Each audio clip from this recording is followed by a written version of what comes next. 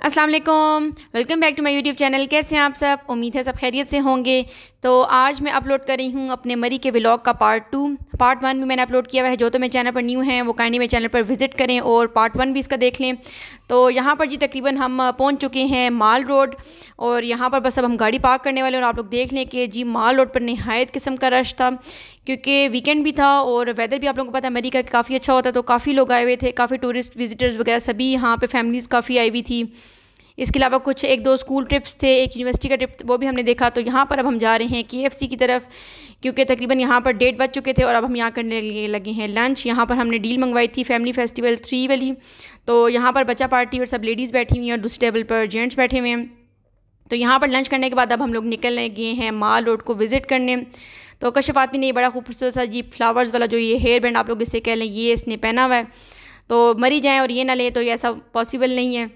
तो यहाँ पर अब हम देख लें। बस अभी एंड तक जाएँगे थोड़ी सी वॉक करेंगे और फिर हम लोग अपने वापस जाएँगे फार्म हाउस पर। तो शदीद से किस्म का रश था इवन के बिल्कुल मज़ा भी नहीं आ रहा था, ज़रूरत ज़्यादा रश होने की वजह से काफ़ी कंजस्टेड था। तो एक आप लोगों को एडवाइस दूँगी जी सैटरडे संडे को मरी आप लोग बिल्कुल भी विज़िट ना करें। वैसे तो यही डेज़ बनते हैं विज़िट करने के लिए। तो यहाँ पर जी देखें जी वुडन किचन्स और ये पेन्स वगैरह इस तरह की आप लोगों को चीज़ें काफ़ी शॉपिंग के लिए मिल जाती हैं गिफ्ट्स देने के लिए।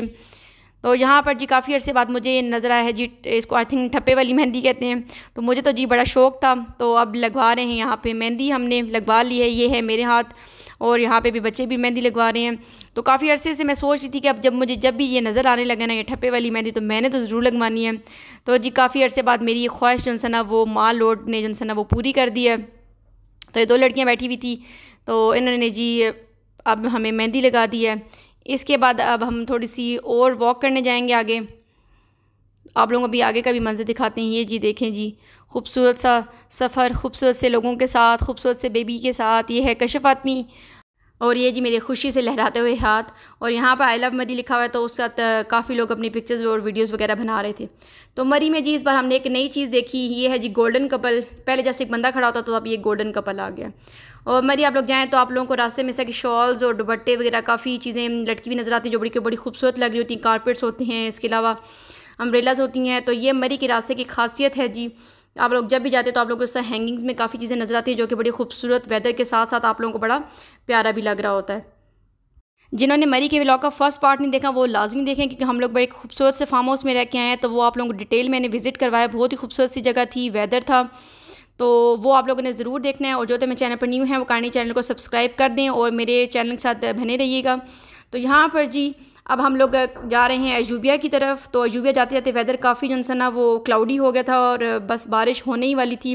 काफ़ी हवा भी तेज़ चलने लग गई थी। तो बस अजूबिया तकरीबन हमने 10 से 15 मिनट के लिए स्टे किया था।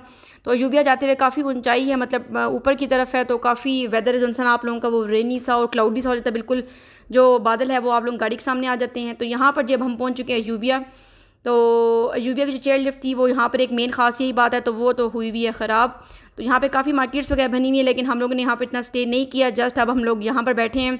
एक होटल में बैठे थे, अब हम लोगों ने यहाँ पर चाय पी है और वेदर आप लोग देख लीजिए बड़ा क्लाउडी सा। और बारिश भी यहाँ पर अभी बस जस्ट शुरू हो चुकी थी और काफ़ी ठंड भी थी यहाँ पे। इवन के जो पतली पतली स्वेटर्स होती हैं, वो आप लोग यहाँ पर पहन सकते हैं।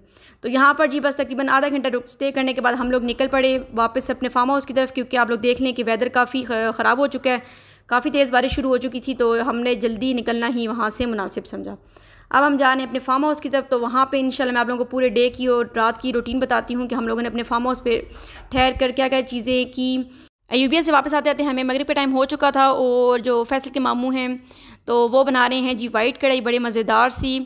तो अब हम यहाँ पे वाइट कढ़ाई खाने वाले हैं। उनकी की कुकिंग काफ़ी फ़ेमस है, वो बहुत अच्छी चिकन कढ़ाई बनाते हैं। तो यहाँ पर हम, हमने उनको कहा कि आप जो ना, आज हमें आप ही के हाथ से चिकन कढ़ाई खानी है। तो यहाँ पर वो जी अपनी वाइट जो चिकन कढ़ाई है, वो रेडी कर रहे हैं। और तकरीबन आधा घंटा में उन्होंने जनसना फटाफट से कढ़ाई हमें तैयार करके दे दी और बहुत ही मज़े का इसका टेस्ट था, बहुत ही मज़े का ये सब भुना मसाला आप लोग कह रहे हैं तो उस का और साथ साथ ये तंदूर की रोटियाँ लग के आई थी हमारी। तो ये जो डिनर था ना, वो सिंपल सा और बहुत ही मज़े का और बहुत ही डिलीशियस डिनर था। तो अब हम यहाँ पे करने लगे हैं अपना डिनर उसके बाद बनाया जी हमने ग्रीन टी ये थी एक वहाँ पे पड़ी हुई इलेक्ट्रिक केटल और इसका हमने भरपूर इस्तेमाल किया।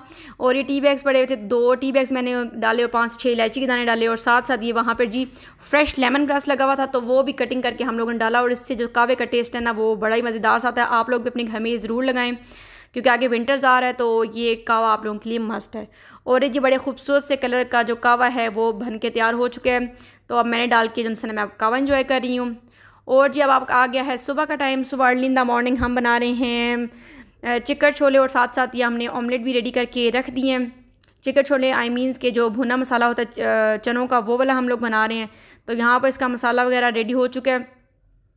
बल्कि अभी रेडी होने के प्रोसेस में आया हुआ है। यहाँ पे इसके मसाले वगैरह डल चुके हैं और अब बारी आने लगी है टमाटर की। टमाटर ऐड करेंगे उसको थोड़ा सा भून के फिर हम लोग अपने जो बॉयल चने थे, वो इसमें अब हम ऐड कर देंगे। तो यहाँ पर देखें जी, टमाटर अब मैंने सेटिंग सारी आप लोगों को दिखा रहे हैं। यहाँ पे मसाले वगैरह हम लोगों ने जोड़ शोड़ के रखा हुआ और ये आउटडोर किचन को हम भरपूर किस्म का जो है ना, वो हम लोगों ने इन्जॉय किया।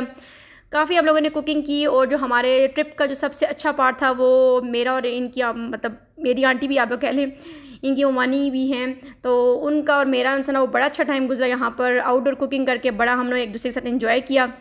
और यहाँ पर देखिए जी इस कुकिंग के साथ जो आउटडोर किचन आप लोग कह लें, उसके साथ ही बड़ा खूबसूरत सा ये छोटे छोटे कुछ प्लांट्स लगे हुए हैं, कुछ फ्लावर्स वगैरह, और वो लेमन ग्रास सामने लगा हुआ और यहाँ पर जी हमारे चने रेडी हो चुके थे, अब हमने चने रख दिए, उसके बाद हमने जिनसे ना फटाफट से अपनी ब्रेड को गर्म करना शुरू किया, क्योंकि बाकी चीज़ें हमारी डन हो चुकी थी, चाय भी बन चुकी थी ऑमलेट भी और चने भी।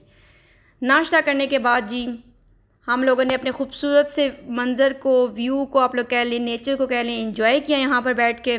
और उसके बाद अब हमने करनी थी लंच की तैयारी, क्योंकि लंच की तैयारी हमने जल्दी स्टार्ट करनी थी, क्योंकि यहाँ पर एक ही चूल्हा है तो उसकी वजह से काफ़ी जो है ना वो टाइम कंज्यूमिंग प्रोसेस होता है। अगर एक दो चीज़ें आप लोगों ने बनानी हो तो तो यहाँ पर अब भिंडियाँ हम लोगों ने बनानी है। उससे मैंने अच्छे से वॉश करके रख लिया साथ साथ वेजिटेबल पास्ता बनाना है तो उसकी अब कटिंग वगैरह अब हम लोग स्टार्ट करेंगे। तो आज जो हमारा लंच का मेन्यू है, वो है जी भिंडियाँ। वेजिटेबल पास्ता और चिकन कढ़ाई। जो सही देसी स्टाइल में चिकन कढ़ाई होती है, आज हम लोग वो बनाने वाले हैं। तो कटिंग वगैरह स्टार्ट कर दी है, प्याज कट चुका है हमारा। साथ साथ जो टमाटर हैं, बड़े फ्रेश आए हुए थे, उसकी भी धो के रख दिया और कुछ कटिंग जो सा ना, वो भी छीना छिलाना सब कुछ स्टार्ट कर दिया है। और ये देखिए जी, एक अदद खूबसूरत सा मंज़र। साथ साथ हम करने लगे हैं अपने भिंडी को फ्राई भिंडी अब तकरीबन दस से पंद्रह मिनट लेगी फ्राई होने के लिए तो सबसे पहले मैंने कहा कि ये इसको भिंडी को फ्राई कर लिया जाए, क्योंकि सबसे पहले मैंने अपनी डिश तैयार करनी थी, भिंडी मैं बना रही हूँ, पास्ता आंटी बनाएँगी और चिकन कढ़ाई जो है, इनके मामू वो बनाएँगे। क्या रहे हो? क्या खा रहे हो? ये नीनी खा रहा है और ये जी हमारी मिक्स वेजिटेबल पास्ते के लिए इसकी कटिंग हो चुकी है। और यहाँ साथ साथ दिखाते हैं अपना आप लोगों को हम आउटडोर किचन यानी कि ओपन किचन और यहाँ हमने सारा ये पास्ता बॉयल कटिंग्स वगैरह सब कुछ करके रख दिया है। लंच की तैयारी चल रही है, और साथ साथ ये अभी हमें देसी अंडे रिसीव हुए हैं, और हम अब उनको बॉयल करके खाने वाले हैं। और ये है जी खूबसूरत सा एक, आप लोगों को व्यू दिखाते हैं, जहाँ पे हम लोगों ने स्टे किया वेदर बड़ा अच्छा है जी। भिंडी मेरी फ्राई हो चुकी है और अब मेरा जो मसाला है वो भी तकरीबन दस से पंद्रह मिनट लेगा क्योंकि हवा बहुत चल रही थी और ये जो बढ़ना था इसकी जो गैस है ना वो काफ़ी कम हो रही थी। तो चिकन कढ़ाई भी साथ साथ बन चुकी थी। ये देखिए जी, बड़ी शानदार से आप लोग जस्ट इसका कलर देखें। और वैसे किसी ने ठीक ही कहा कि मर्द के हाथ में काफ़ी जायका होता है, इनके मामू ने दोनों टाइम की जो कढ़ाई थी वो बहुत बहुत बहुत मज़े की बनाई थी। और हम तो बल्कि काफ़ी इम्प्रेस भी हुए उनसे। तो यहाँ पर जब पास्ते की तैयारी चल रही है ये वेजिटेबल्स वगैरह सारी ऑयल में डाल चुके हैं सॉसेस भी डाल चुके हैं नमक आलनी में जो जो चीज़ें उसमें डलती हैं वो सब हमने इसमें ऐड कर दी और पा, पास्ता लास्ट डिश थी तो बाकी सब कुछ तैयार हो चुका है और जो रोटियाँ हैं वो तंदूर से लग के आ जाएँगी। तो यहाँ पर आज हमने अपना जो ना वो डाइनिंग पे बैठ के नहीं किया, बल्कि हमने ओपन एयर में मतलब कि आउटडोर बैठ के जहाँ पर झूला वगैरह लगा, मैंने आप लोगों को दिखाया था, पूरा वो जो गार्डन सा बना, वहाँ हम लोगों ने बैठ कर लंच इन्जॉय किया। बर्तन वगैरह हम लोग नीचे ले आए थे तो अभी हम यहाँ पर बैठ के सब बच्चा पार्टी और हम जितने फैमिली मेंबर्स हैं वो सब इन्जॉय करने वाले हैं। और ये है जी, जो मैंने भिंडी बनाई है तो तीनों चीज़ें बड़े मज़े की बनी थी। और यहाँ पर जी, आयत फातमा ने बड़े खूबसूरत से फ्लावर्स का मुझे एक बुके गिफ्ट किया तो बहुत ही मुझे खूबसूरत लगा। वहाँ पर आगे पीछे जितने फ्लावर्स लगे थे, उसने वो सब कलेक्ट करके तो मुझे एक बड़ा खूबसूरत सा बुके बना के दिया। और बुके दिखाते हैं आप लोगों को ऐसे करके। अभी बुके हम आप लोग दिखाते हैं कैसे कैसे उसने फ्लावर्स लगाए थे। इवन के मुझे तो उनके नाम भी नहीं पता था।